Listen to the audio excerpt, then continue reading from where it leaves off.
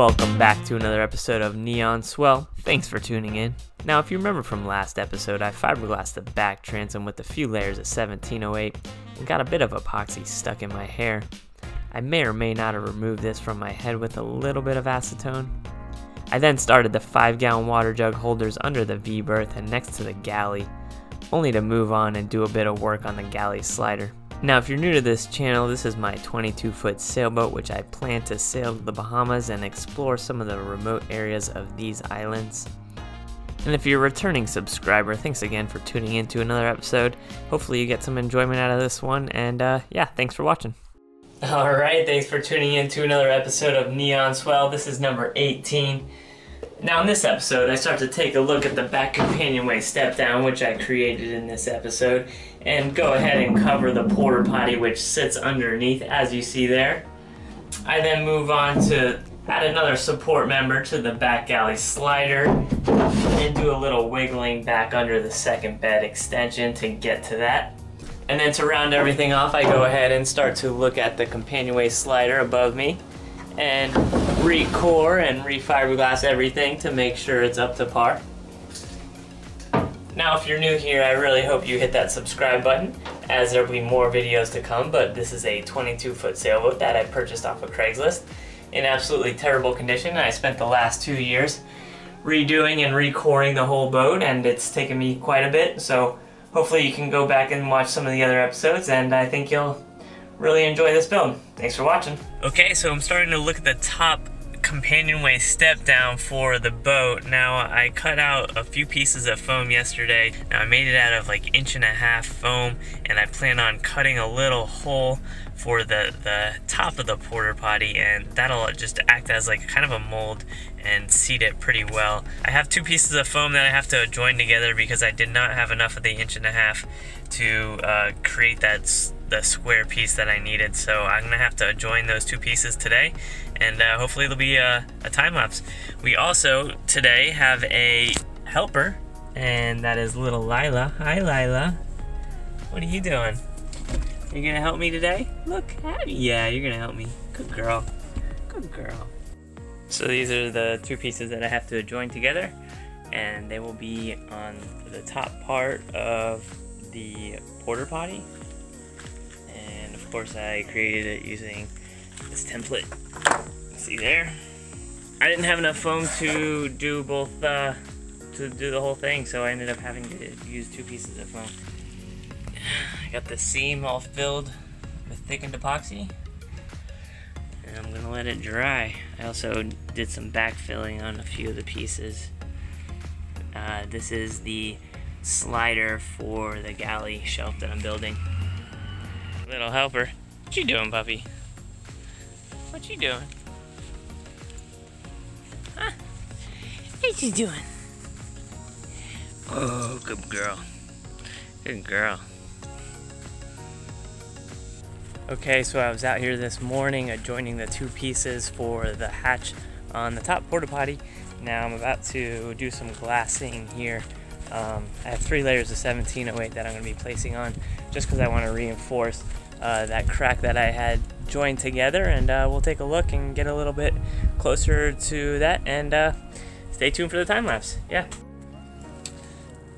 So here you can see the multiple layers of 1708 that I'll be placing and then the I have one strip that I'll probably end up putting on over the crack just because I really want this to be strong. But that's the adjoined crack there, and it came out pretty good. And it's uh, it's kind of tacky, so uh, I want a, a, chemical bond between all the layers and that. So I think I, that's why I want to do this right now. But uh, yeah, let's take a look and uh, see if we can do this real quick.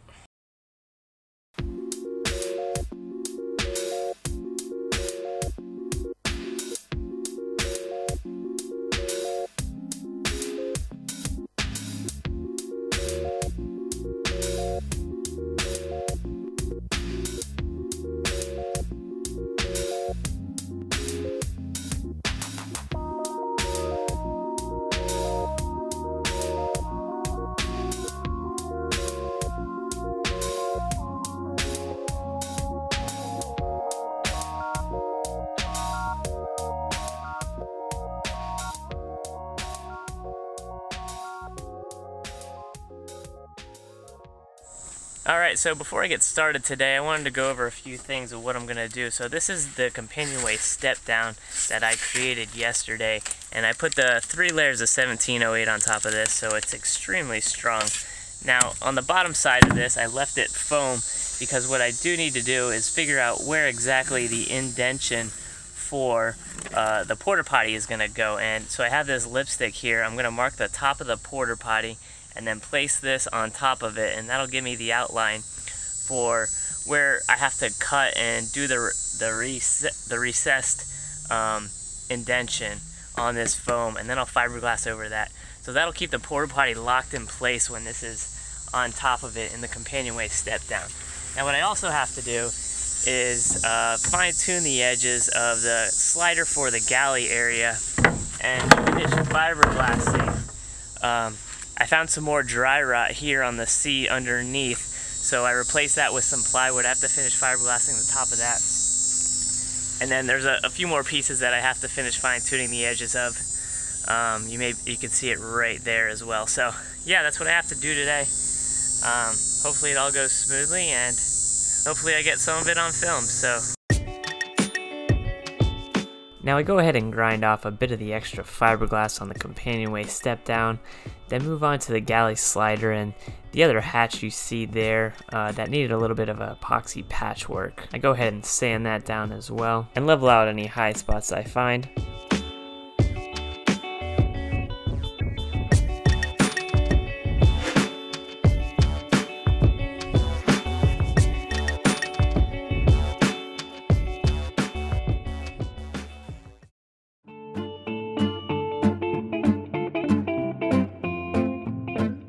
I then move myself inside the boat to work on the companionway step down and do a little fine tuning on the top hatch and figure out exactly where the recessed indention needs to go. I also tinker around with some of the other components of the boat to get a good feel of how everything's going to fit when it's all said and done.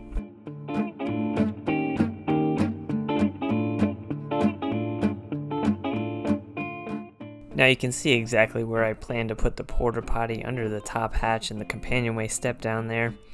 I also have a spot right in front of the porta potty to place the bilge pump and hopefully this will allow for quick drainage of uh, any water that happens to get inside the bilge. And remember that I don't plan to actually put a floor on this so the bilge and the floor are all one.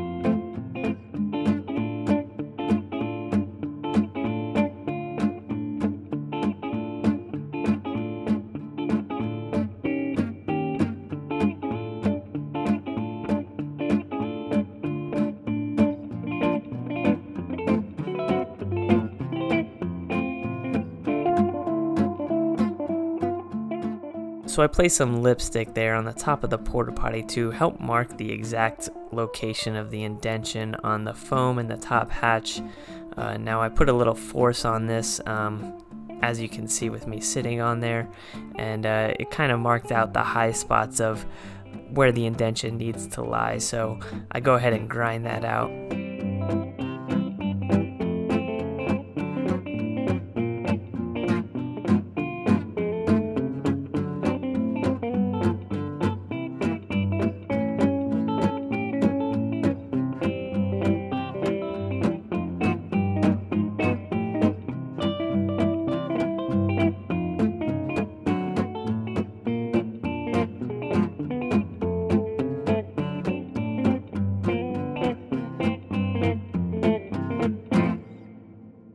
So I have everything designed for the companionway step down. I have the cloth laid out here on the deck and the companionway step down right there. I'm going to cut about three or four layers of 1708 and uh, hopefully that'll reinforce the bottom side of this. What I also did was cut like a grid, grid-like grooves in the bottom foam of the companionway step down to kind of act as stringers and I'm going to fill that with thickened epoxy and that'll reinforce uh, the step down and make it a little bit more rigid because um, it was bowing just a little bit. And now the cloth will help, but I think those uh, stringers will also uh, do a lot for that step down.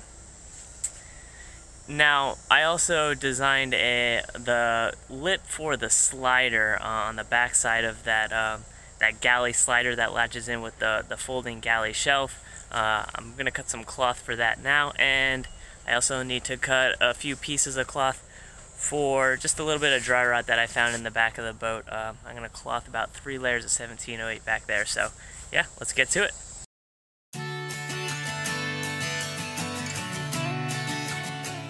So I start the process of fiberglassing the top companionway step down and as I mentioned before in the previous clip I go ahead and fill those stringers in with thickened epoxy and lay three layers of 1708 over top of that to make sure that everything is extra strong when it's all said and done.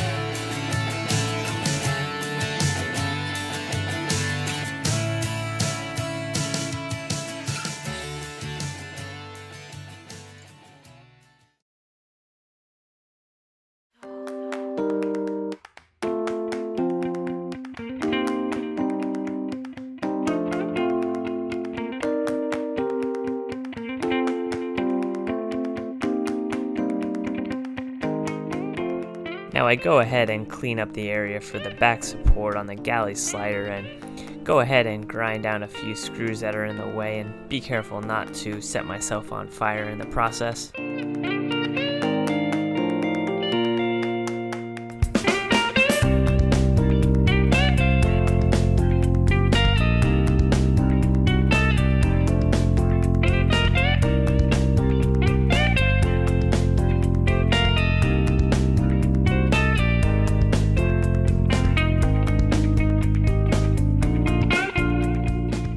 Then mark out the area where I want the support to go and go ahead and cut the piece to size.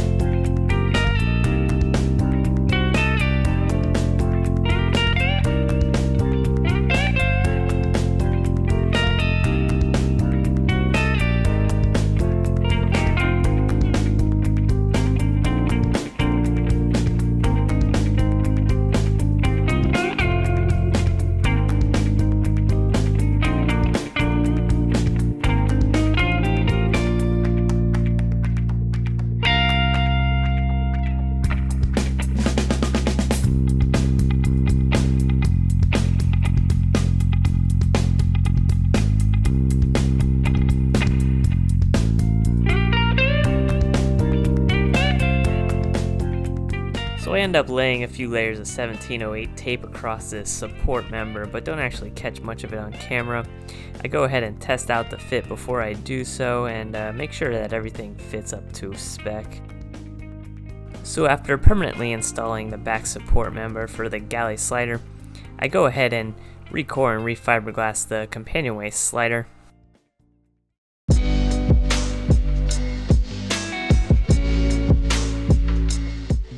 After 30 years, the core on this slider was still structurally sound, and even with the crowbar and hammer, I still had problems getting it up. It brought me back to the first days when I owned this boat and started removing the core all around. It was a real nightmare, and laying upside down with a crowbar and hammer trying to peel the balsa wood off the fiberglass was an insane amount of work which I did not film and was before the start of these episodes.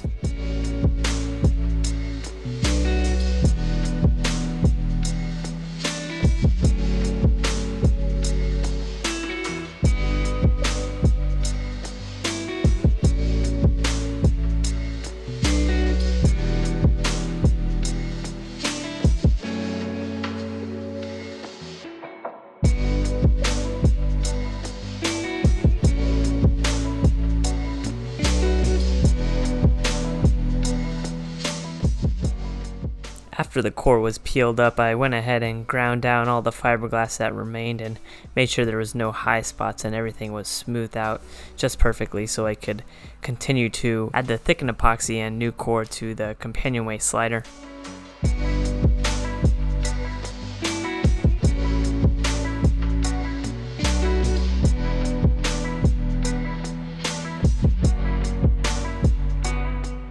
Again, the poor man's boat is made of scraps. I go ahead and dip into the extra core cuts I had from episode 6 and piecemeal the companionway slider together. I fill any gaps in with thickened epoxy and the extra pieces of core lying around.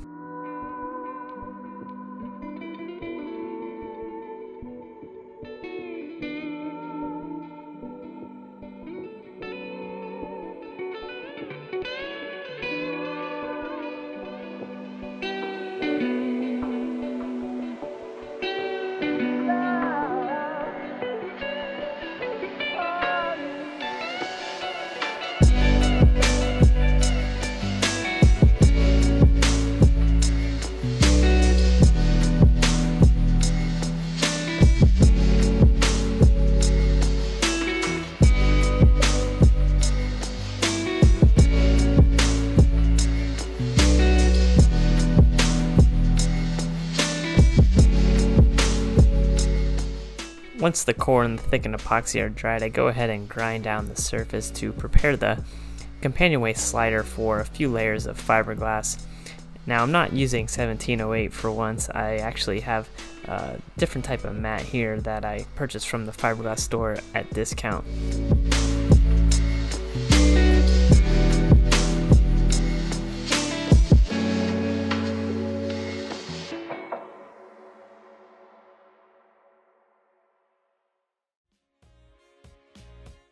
So fiberglassing the top companionway slider concludes this episode of Neon Swell. I really appreciate you checking out my boat build and I hope you got some entertainment out of this video. If you're new to the channel, be sure and hit that subscribe button.